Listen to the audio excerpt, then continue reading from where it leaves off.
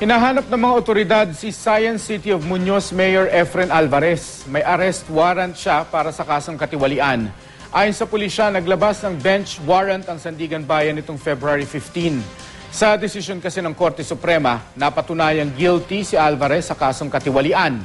Kaugnay ito ng umano'y pagpabor niya na magpatayo ng isang shopping mall ang isang pribadong kumpanya sa lungsod. Lumabas sa investigasyon na hindi pala lisensyado ang kontraktor na nakasundo ni Alvarez. Kulang din daw ito sa kapasidad para sa proyekto. Ayon sa ilang lokal na opisyal, noong February 19 daw nila huling nakita si Alvarez sa kanyang tanggapan. Sinikap po na ng GMA News ang panig ni Alvarez pero hindi siya matunton.